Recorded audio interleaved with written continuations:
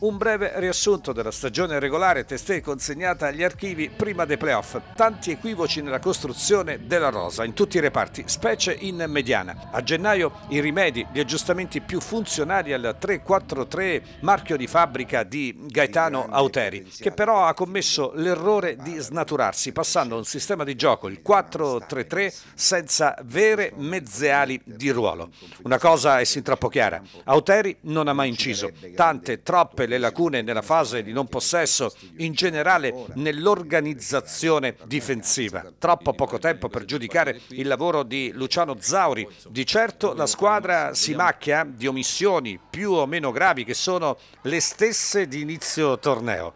Ingiustificato poi l'atteggiamento molle di sabato. 11 senza garra, mentalmente sconnesso. Era la partita più importante, la quarta posizione da blindare. Il campo ha detto invece quinto posto. Non è esattamente la stessa cosa. Vincendo infatti il Delfino avrebbe chiuso la stagione regolare a quota 67 punti con la certezza, dopo aver superato naturalmente il secondo turno, di essere testa di serie alla prima gara nazionale dei playoff, ottavi di finale, come migliore squadra della fase a girone in virtù dei punti conquistati, 67, con vantaggi tutt'altro che trascurabili.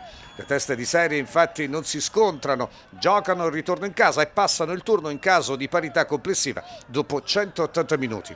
Una prospettiva decisamente diversa da quella attuale.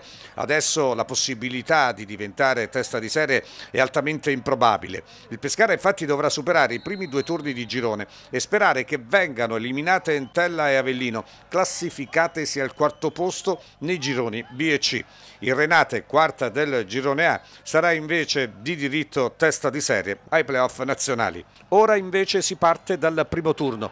Gara secca all'Adriatico con due risultati su tre a disposizione, niente supplementari. La Carrarese è la prima avversaria della fase a girone. Disastroso il trend esterno dei toscani, degli ex Berardocco, Giannetti e Dumbia. Appena 11 punti in 19 gare, una vittoria, 8 pareggi e ben 10 KO. Fuori casa il peggiore rendimento del girone al pari di Fermana e Grosseto.